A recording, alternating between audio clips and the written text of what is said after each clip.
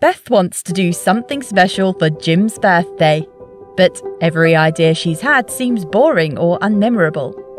Then, Beth finds Choir Farm, an easy way to make and send personalised music greetings for any special occasion. People simply record themselves singing along to Choir Farm's backing tracks, which are then mixed by its innovative Combine Song Harvester. The final video looks and sounds great. Jim breaks into tears of joy, or is it laughter?